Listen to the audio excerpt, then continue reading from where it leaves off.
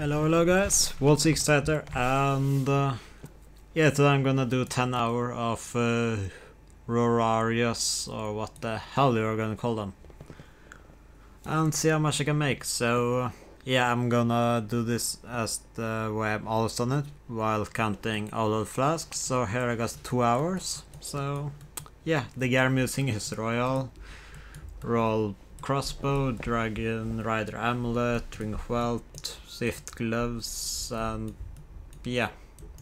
And yeah, I'll guess I'll talk to you guys in about 10 11 hours, so see you guys then.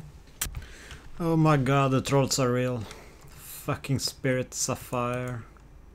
The trolls are real. Jesus Christ.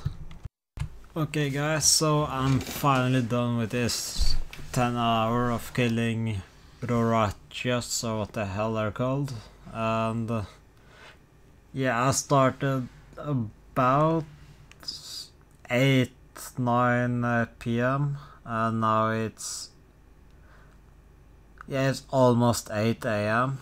I've been up the entire night, so I'm real tired now. So yeah, let's just see how much I made. So these are drops, and yeah, the runite limbs and uh, death runes are not 100% accurate because I didn't start collecting them until about um, about one or two hours in.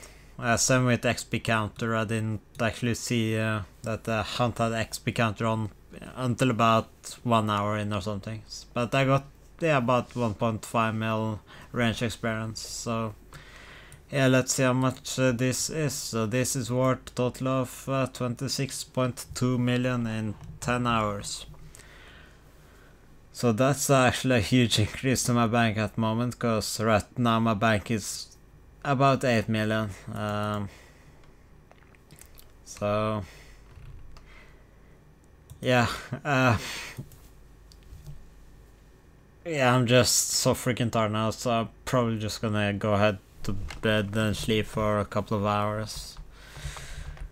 So, and we actually also got close to 49 million range experience, so that's awesome.